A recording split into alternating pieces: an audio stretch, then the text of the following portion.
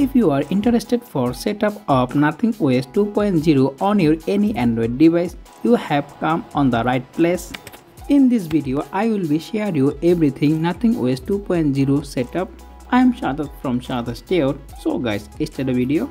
New Nothing OS 2.0 is completely based on strong widgets, which completely make this smartphone completely different. At the top of the screen, you can find square 2 widgets. The clock style and the audio player style is so unique and nice. And I will provide the link of the icon pack widgets wallpaper that I will be used to create this setup. Link also available on my video description. For the wallpaper, I am using this wallpaper application as the wallpaper. Nothing Phone to introduce 12 new wallpaper. Next I am using KWGT Kustom widget maker.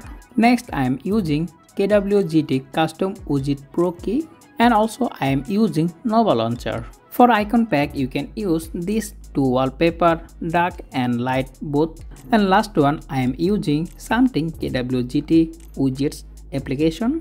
These widgets offer an impressive collection of around 50 widgets so you can easily customize your any android phone home screen like nothing OS 2 or nothing phone 2 so today videos about that. If you found this video helpful don't forget to hit the like button and subscribe to my channel for more content like this as always. And thanks for watching and i will catch you in the next one. Take care. Allah hafiz